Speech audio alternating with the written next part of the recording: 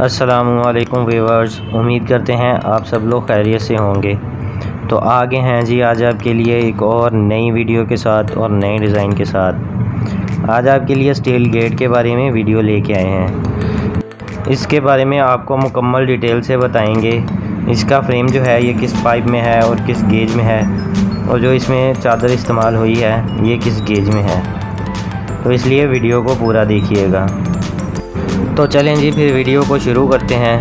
सबसे पहले आपको इस गेट की पमाइश के बारे में बताते हैं। तो ये गेट आठ फुट का है। आठ फुट इस गेट की चौड़ाई है और सात फुट ऊंचाई।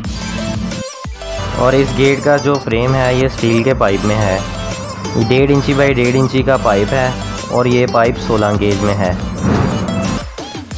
और इस गेट को साइडों पे फ्रेम के साथ इसको दो इंची वाला गोल पाइप लगाया है। और ये पाइप भी स्टील में है और 16 गेज में है।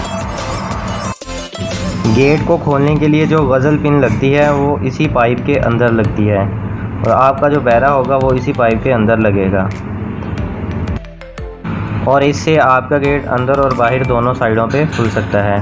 अगर आप इसको एक साइड पे खोलना चाहते हैं तो वो आपकी मर्ज़ी है।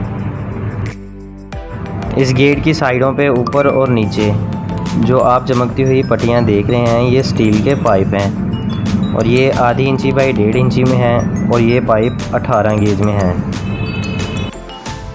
और इस गेट के अंदर आप जितना भी रेड कलर देख रहे हैं, ये लोहे की बैंडिंग चादर है और ये चादर 16 गेज में है।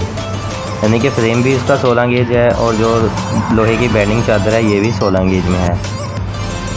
और इस बैंडिंग चादर के अंदर एंची का गोल पाइप लगाया है और ये पाइप भी स्टील में है। और ये बाकी इसमें जितना भी स्टील का पाइप है, ये सारा 18 गेज में है। फ्रेम से 16 गेज में है और बाकी जितना भी स्टील का पाइप है, ये सारा 18 गेज में है। और बाकी इस गेट को हैंडल भी स्टील के लगे हुए हैं। और ये हैंडल डेढ़ इंची के गोल पाइप में है। और हैंडल को और ज़्यादा खूबसूरत बनाने के लिए इसमें दो इंची वाली बाल भी लगाई है। और इस गेट को और ज़्यादा खूबसूरत बनाने के लिए इसमें डेढ़ इंची के स्टील के गोल कप भी लगाए हैं। तो चलें जी, अब इस गेट की प्राइस के बारे में बात कर लेते हैं। तो ये गेट सोलह सौ रुपये मुरबा फुट के हिसाब से तैयार होता है। तो इस आठ फुट की गेट की मैं टोटल प्राइस भी आपको बता देता हूँ। तो ये गेट नब्बे हज़ार में तैयार होगा। आठ फुट इसकी चौड़ाई और सात फुट ऊंचाई में। फ्रेम इसका 16 गेज और इसमें जो चादर इस्तेमाल होगी वो भी 16 गेज और बाकी इसमें जितना भी पाइप इस्तेमाल होगा वो सारा 18 गेज में होगा।